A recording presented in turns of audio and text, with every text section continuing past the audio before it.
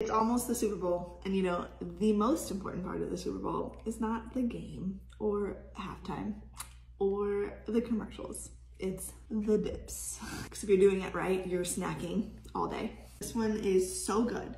It's got Wild Planet albacore tuna. I've loved this canned tuna for years. Horseradish, pickled jalapenos, some cilantro, cream cheese, of course.